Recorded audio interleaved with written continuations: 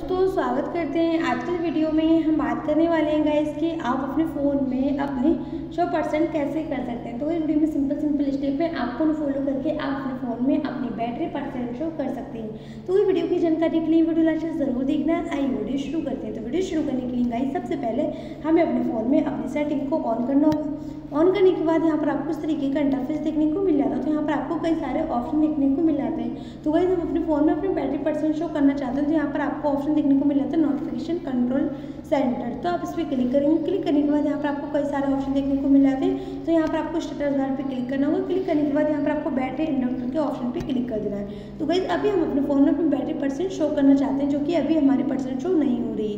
तो गई आप चाहते हैं कि आपको बैटरी परसेंट शो करनी है अपने फ़ोन में बैटरी के अंदर तो आप इस पर क्लिक करेंगे तो आपकी जो परसेंट है वो आपकी बैटरी के अंदर होएगी। अगर आप चाहते हैं कि आपको बैटरी के बाहर करनी है तो आप बैटरी के बाहर कर देंगे यहाँ से। तो गई इस तरीके से आप अपने फ़ोन में अपनी बैटरी परसेंट शो कर सकते हैं। तो गई वीडियो पसंद आई हो तो शेयर करें लाइक करें। चैनल पर नए हो तो चैनल को सब्सक्राइब करें। मिलते हैं अगले नेक्स्ट वीडियो में। तब तक के लिए बाय बाय एंड